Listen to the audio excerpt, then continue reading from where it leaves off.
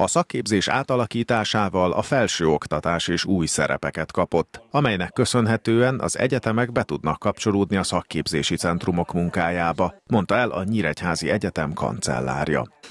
Az egyetem együttműködési megállapodást kötött a Máté Szalkai Szakképzési Centrum Budai Nagyantal Technikum és Szakgimnázium intézményével, amely mindkét fél számára egy hosszú távra tervezett közös képzési rendszert fog jelenteni. Ennek a jelentősége az, hogy azokat a diákokat, akik a Nyíregyházi Egyetemet választják, és okleveles technikus képzésben végeznek a szakképzési centrum bármelyik intézményében, egy csökkentett kredit értékel, tehát rövidebb időtartam alatt tudjuk eljuttatni az oklevél megszerzéséig. A kancellár hangsúlyozta, az egyetemen folytatott képzési idő csökkentése ellenére a korábbiakhoz képest ugyanolyan minőségű oktatásban fognak részesülni a hallgatók, éppen ezért azonos értékű oklevelet is fognak kapni. Összesen négy szakon tudnak majd a diákok a megállapodás révén előnyökhöz jutni. Nyilván ugye itt alapszakokról beszélünk. Az alapszakok három vagy négy év, egyedül a tanító, ami négy év, az óvodapedagógia, illetve ugye a csecsemő és kisgyermeknevelő három. Tehát ebből a háromból lett végül is kettő.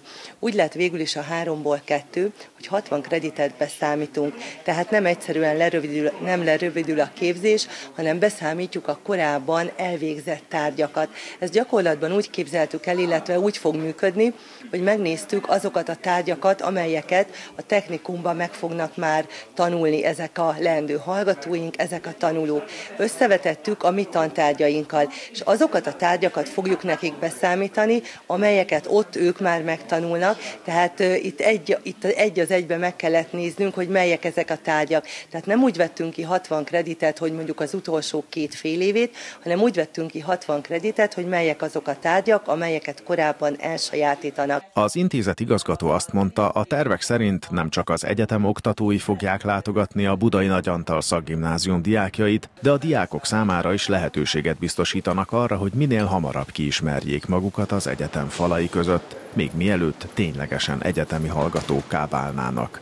Barkovánt Ferenc, a Máté Szalkai Szakképzési Centrum főigazgató helyettese úgy véli, a szakgimnázium magas színvonalú képzése már most is megközelíti az egyetemi oktatást, és ez adta az alapötletét a megállapodásnak. Gyakorlatilag itt arról lesz hogy amit egyébként is tanulnak a tanulók, és kiderült később, hogy ez a színvonalat tekintve már illeszkedik az egyetem profiljába, gyakorlatilag azt nem tudjuk, hogy miért nem hamarabb volt erre lehetőség.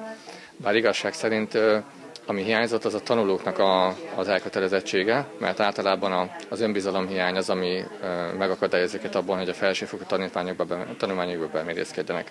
Ebben látjuk óriási lehetőségét a mostani együttműködésnek, mivel hogy már az egyetem oktatói jönnek le bizonyos órákat tartani, illetve a tanulók reményeink szerint bizonyos programokba bekapcsolódnak az egyetemen, így gyakorlatilag nem egy éles váltás lesz nekik az egyetemre való bekerülés, hanem már egy megszokott környezetbe tudnak tovább tanulni. A Budai Nagyantal Technikum és Szakgimnázium diákjai számára tehát az óvodapedagógus, a csecsemő és kisgyermeknevelő, valamint a tanító szakokra való bejutás a közös oktatási rendszernek köszönhetően könnyebbséget jelenthet, mivel a korábban már megszerzett szakirányú ismereteket az egyetem elismeri, és ezzel a képzési idő is lerövidülhet.